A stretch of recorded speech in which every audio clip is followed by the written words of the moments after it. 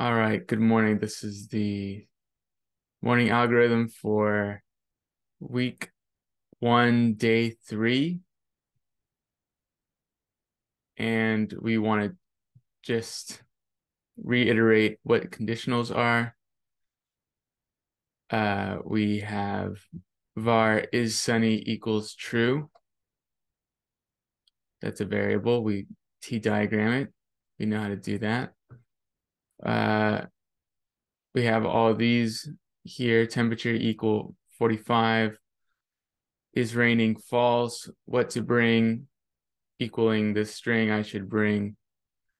If is sunny, what to bring plus equals sunglasses. If temperature is less than 50, what to bring, you add to what to bring. You say plus equals the string, a quote. And then at the end, you console log what to bring here after you check these three ifs.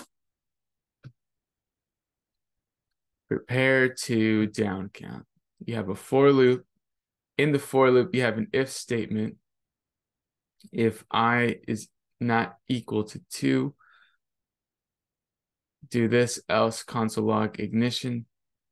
Count positives is the last one.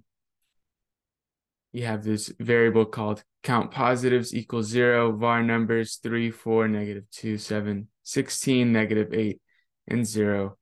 And then there's a console log. There are, you add to the console log the count positives and then the last quote positive values. So there we go. Uh, should be easy enough for you guys at this point let's go ahead and break out into groups.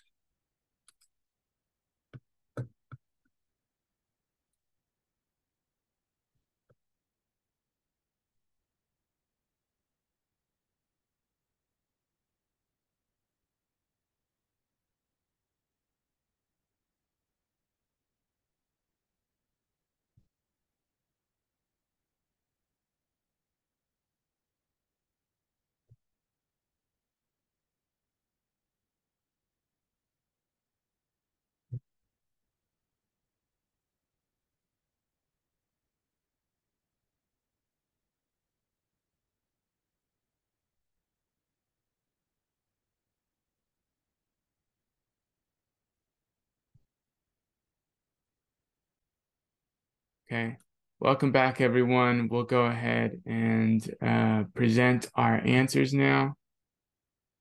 Let's go through this, uh, each answer with a different group. So who would like to present for the first one? I can go first. Okay. Uh, here.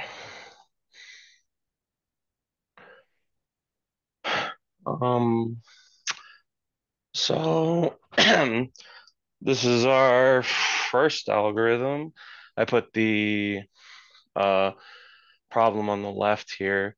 Um, I also color coded the variables just because it's a little easier for me that way. Um, our first variable is sunny. I said the value is true. The variable temperature is 45. So we put the value at 45. The raining is uh, variable is raining right here, which is false. And then the the variable uh, I should bring or what to bring, sorry, what to bring is I should bring. So the first thing the function asks is if it's sunny, we look at the value, the variable up here is sunny, the value is true. So we're going to uh, bring sunglasses. We're going to console log sunglasses right here because it's sunny. Wait, hold if on. oh, sorry we're not going to console log sunglasses. We're going to say, oh, we're going to add it to what to bring. Yeah, sorry. You're right. We bring we add it to what to bring here. Yeah. Because this is the plus equal. Right. Okay. if the temperature is less than 50, then we will add to the what to bring a coat. We check the temperature, which is 45. 45 is less than 50. So this is true. And then if it is raining, we would add an umbrella. So if it's true, is it true right now? For the It- for raining, it's not true. So temperature we put- less than 50, I mean. yes, the temperature is less than 50. So we were then to add to what to bring a coat. Mm-hmm. A coat. Yep, and that is true. Yep. So you have the and I, I like how you have the rows like that lined up. True, true, true. Okay, continue. Sorry. Yeah, and then if it's raining, um, which we would check raining is false, but it would be a bring an umbrella if it was true. Um, since what to bring is outside of the curly brackets here, even though this the raining is not true, we would still add and a smile to what to bring. Um, because there's no if or else statements here, so the computer would just read this. So then we'd console log what to bring, which was I should bring sunglasses, a coat, and a smile, which we console log here. I should have put the thing right there. Nice. Nicely done. Interesting colors. How do you get a black uh, spreadsheet? That's interesting. Yeah, I like uh I like darker backgrounds, so I just I just highlighted it all and used the paint bucket to change it here to black and then I just want I changed every variable to a different color so that way it was like when I saw if sunny then it's like oh it's red so it's true I can just look at there real quick. Okay, nicely done. All right. Um, well done, group one. For question two, who would like to go? Uh, I can go. Nice. Let's do that.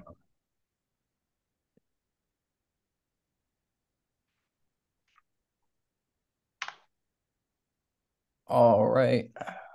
We've got prepare for a down count. Um, so it starts with our variable i is at 10. Um, it's gonna go until it's at one, which is bigger than zero, and it's gonna keep going down by one. All right, if i is not equal to two, then we console log i. So we're gonna go from 10 to nine to eight to seven to six to five to four to three and then to two. And then uh, we're going to go down here to console log dot uh, ignition.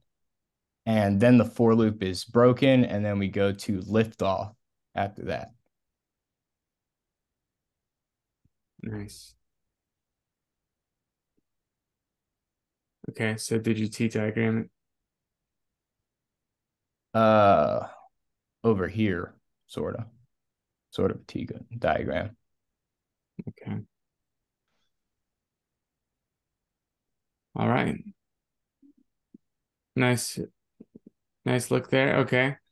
And for uh, problem three, I can go. okay, thank you, Joan. Uh, all right. Um, so for problem three, we had to um, write the code to count the number of positives in this array. So uh, we added a for loop and an if loop. So for any uh, value of i less than the number of the array length here, which is seven, and I have that lumped here, then you'll keep adding one um, up until you've you've examined all the values of the array. So in this case, uh, if your value of i is zero, starting off zero, then um, and, and zero is less than the number the number of values in the array, which is seven, then we have a variable x where you store the index of that value i. So that's where I've logged all of these values. So index zero will give you three. Three is greater than or equal to zero, making it a positive. So then you have a variable count positives where you store um, uh, an additional value here, one. So then you look at, um, I'll just, so for every value zero, one, two, three, four, five, six, uh, which is less than seven, then you have an index zero, one, two, three, four, five, six. and so if your first value is three, then your second value, which is index of one, is four. Four is greater than zero. So then you add one more to the count positives, becomes two. Um, then your um, index two of the array is negative two. So you don't count a positive. So you skip that. Um, and then you have number, uh, so you have index three of the array, which is seven. Seven is greater than zero. So you count another positive. That gives you, I believe it was two. Um, and then you go to the next one, index of four in the array gives you 16. 16 is a positive, so you add one more. You get, uh, was that, am I correct? Yeah, I think it's four actually. Sorry, my bad, four. And then um, uh, index of five in the array gives you negative eight, so you don't count a positive there. Um, you go to the next one, index of six gives you zero, zero is a positive, greater than or equal to zero. Um, so you count your positive one more time and um, you end up with a value of five here. So essentially end up console logging, there are five positive values. I see. Okay. Thank you. Well done, group three. Any questions, Benjamin?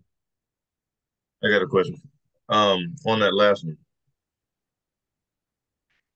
we got um, I forgot what I don't have it pulled up, but we got four for the simple fact that zero isn't a positive, and we're counting positives, so it wouldn't be if i is uh greater than or equal to zero. It would be just greater than zero because zero is the absence of anything. So positives would be above it. Okay. Let's bring it up one more time to see the definite answer. John, would you share your screen again?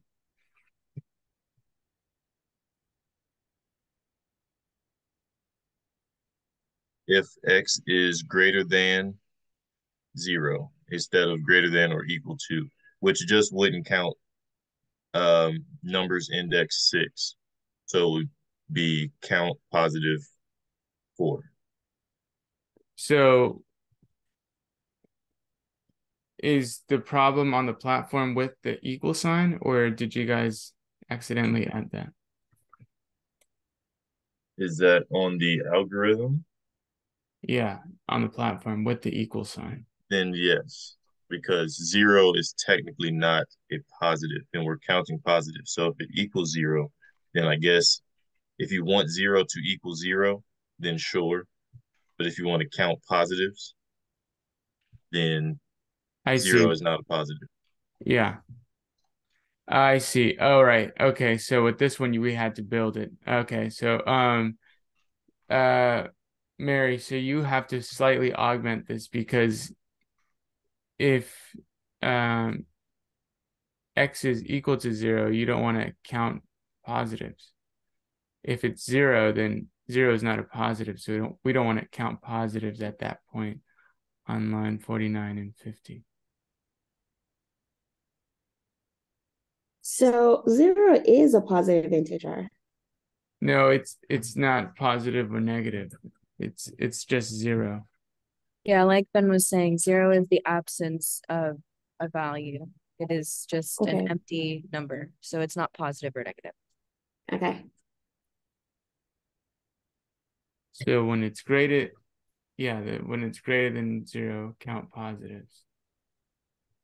So from the T diagram on line 45 in the middle, there where it says count positive zero, Uh, It's okay. We don't have to go through and correct this all now. Um, but just maybe redo this T chart on your own time.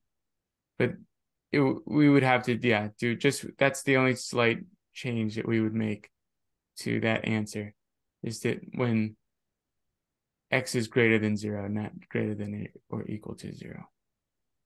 But good okay. job. Very, very good attempt.